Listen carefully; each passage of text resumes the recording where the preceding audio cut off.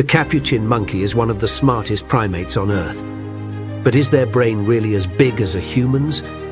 Native to Central and South America, capuchins are known for their natural intelligence and incredible problem-solving skills.